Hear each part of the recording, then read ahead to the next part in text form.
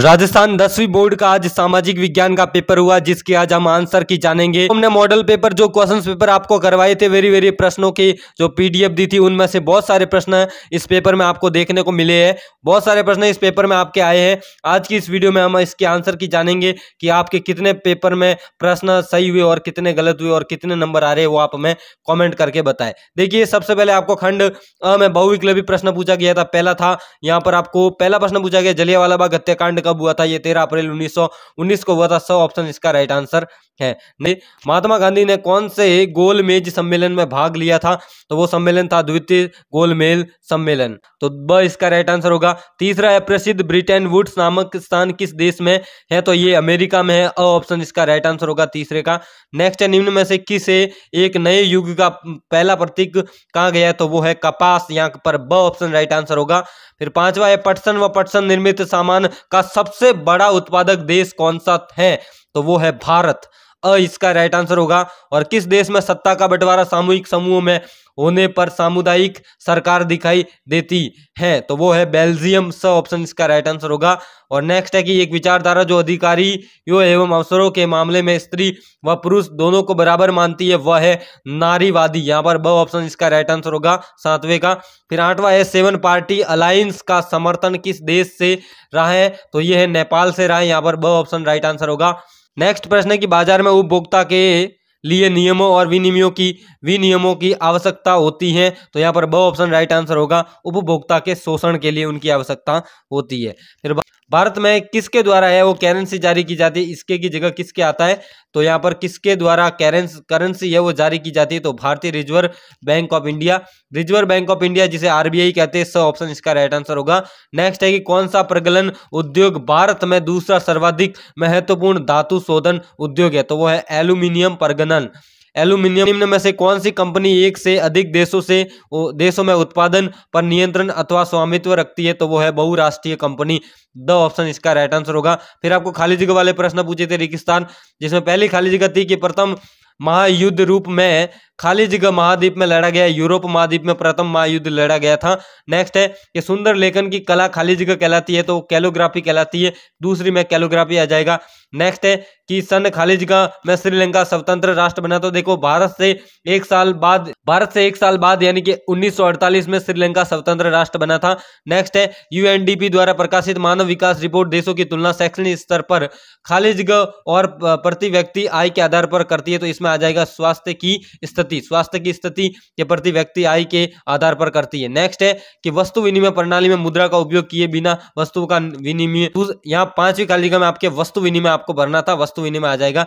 फिर छठी है कि 24 दिसंबर उन्नीस सौ छियासी में भारतीय संसद में खाली जगह अधिनियम पारित किया गया था उपभोक्ता इसका पेपर करवा रहा जब मैं इंपॉर्टेंट क्वेश्चन बता रहा था उसमें भी मैंने कहा था कि ये प्रश्न आपके आएगा तो ये आ, आ चुका है आपके। उपभोक्ता खाली जगह में आ जाएगा।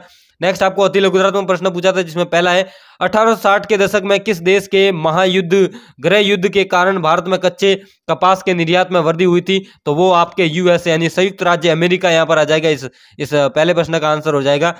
फिर है, अंतर्राष्ट्रीय पुनः निर्माण एवं विकास बैंक को अन्य किस नाम से जाना जाता है? तो विश्व बैंक, यानी वर्ल्ड बैंक के नाम से जाना जाता है। इसका दूसरे का वर्ल्ड बैंक हो जाएगा। नेक्स्ट है जोहानिस गुटेनबर्ग ने किस यंत्र का आविष्कार किया था? वो मुद्रण यंत्र था जिसका आविष्कार किया था। नेक्स्ट है कि दीन दयाल पतन कौन से राज्य में स्थित है? ये गुजरात राज्य में है। और जहाँ भूमि पर जनसंख्या का दबाव अधिक होता है, वहाँ पर की जाने वाली कृषि का नाम है गहन गहन कृषि या सघन कृषि दोनों कह सकते हैं। गहन कृषि या सघन कृषि, इसका राइट आंसर होगा।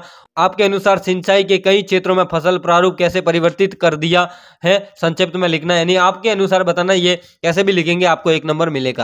फिर समरूप समाज किन देशों में पाया जाता है तो कोई दो देश के नाम बताने थे तो पहला हो गया जर्मनी और दूसरा होगा स्वीडन। फिर है सामाजिक विभाजन, अधिकांश किस पर आधारित है? ये जन्म पर आधारित है, जन्म पर इसका आंसर हो जाएगा। नेक्स्ट बोलीविया के जल युद्ध का नेतृत्व किस संस्था ने किया था? यहाँ पर लिखा हुआ है। कि F E D E C O R नामक एक संगठन था, जिन्होंने बोलीविया के जल युद्ध का नेतृत्व नेतृत्व आंदोलन इस संस्था द्वारा किया गया था। तो आपको यहाँ पर लिखना था ये पूरा। फिर प्राथमिक क्षेत्र से आप क्या समझते हैं? यानी कि अर्थव्यवस्था का वह जो, वह क्षेत्र जो प्राकृतिक संसाधनों का सीधा उपयोग करता है, वो इसका प्राथमिक क्षेत्र में आता है। तो इसका आंसर ये हो जाएगा। नेक्स्ट है कि ग्रामीण क्षेत्र में असंगठित क्षेत्रों में श्रमिकों का संरक्षण कैसे हो रहा है? हो सकता है कोई दो उदाहरण देने तो आप दे सकते हैं। मजदूर मजदूरी हो गया, शिक्षा हो गया, स्वास्थ्य हो गया, आप बता सकते हैं। फिर नेक्स्ट है कि एक भूमि भूमि इन ग्रामीण मजदूर के विकास के किन्हीं दो लक्ष्य को बताना था, लक्ष्य का उल्लेख करना था तो बिल्कुल आप कर सकते हैं। फिर आपके खंड ब में जो ब आता है, जिसमें वीणा संधि की वियना संधि की दो विशेषता बतानी थी। बाज़ार श्रम की बहुताओं से मजदूरों की ज़िंदगी किस प्रकार प्रभावित हुई? सारे प्रश्न हमने बताए थे। मैंने जो model paper very very important questions के पेपर करवाए थे, उनमें से आपके बहुत सारे प्रश्न आए। यहाँ पर लोकतंत्र के जो दो बिंदु बताने थे पूर्ण परिभाषा करने के, जोड़ने के दो बिंदु बताने थे, ये भी मैंने बताया था। और नवीनीकरण, गैर नवीनीकरण संसाधन के बारे में बताया गया एकीकरण संक्षिप्त में आपको बताना था, ये भी इंपॉर्टेंट क्वेश्चन था, जो भी हमने बताया था, इससे सारे प्रश्न हमने बताए थे। वही प्रश्न इसमें रिपीट हुए। सविन्य अवज्ञा आंदोलन के बारे में बताया कि गांधी जी के दो आंदोलन ज़रूर पूछेंगे राष्ट्रवाद में। राष्ट्रवाद का विचार भारतीय लोक कथाओं को पुनर्जीवित करने के आंदोलन से भी मज़बूत हुआ। कथन के पक्ष को अपने तर्क में देना था, फिर बाईसवा संघवाद का अर्थ बताते हुए संघीय व्यवस्था का गठन, तरीकों से उदाहरण समझाना था।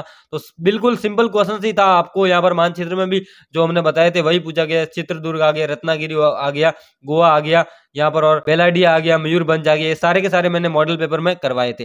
तो बिल्कुल सिंपल पेपर था। सामाजिक विज्ञान का क्लास टेंथ का बहुत सिंपल पेपर था। इसका आंसर की हमने आपको बता दिए छोटे छोटे क्वेश्चंस की। और बड़े क्वेश्चन के आंसर मैं टेलीग्राम पर डाल दूँगा, वहाँ से इसको प्राप्त कर सकते हैं। तो आप कमेंट करके बताएँ कि आपके कितने नंबर आ रहे हैं, आप कमेंट करके बताएँ। बिल्कुल, क्योंकि पेपर ईजी था, आप उम्मीद करता हूँ कि आप सभी का पेपर अच्छा से अच्छा हुआ होगा, आपके बहुत अच्छे मार्क्स आएँगे। तो आज की वीडियो में बस इतना ही। वीडियो पसंद आ वीडियो को लाइक करें, अपने दोस्तों के साथ इस वीडियो को शेयर करें। चैनल पर अभी तक नहीं चैनल को सब्सक्राइब करके बेल आइकन को प्रेस करें।